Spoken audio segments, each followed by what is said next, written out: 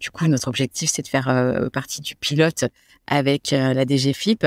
ce qui se passe en ce moment, c'est que du coup, il y a tous les candidatures qui vont devoir être déposées. Initialement, c'était prévu de pouvoir les déposer en avril. il se trouve que en fait, les premiers agréments vont pas être donnés à l'été ou en septembre comme on pensait, puisqu'en fait, pour pouvoir donner les agréments, il va falloir qu'on fasse des tests sur les connexions avec le PPF et que le PPF n'aura ses connexions disponibles qu'en décembre. De toute façon, euh, les personnes qui comptaient avoir un agrément euh, à la rentrée euh, juste après l'été, euh, bah, ça va être râpé. On n'aura pas les agréments avant décembre.